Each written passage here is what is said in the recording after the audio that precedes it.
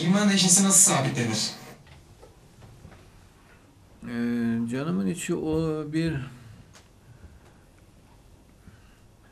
inanç kararıyla oluşur. Ee, yani gayet kolay. Sadece bunun e, ehemmiyetini kavraması lazım. Ehemmiyetini kavrarsa biter. Mesela üniversite imtihanı kazanmayı çok önemli görüyor. Karar veriyor. Çektiği çileyi bir Allah bilir, bir o bilir.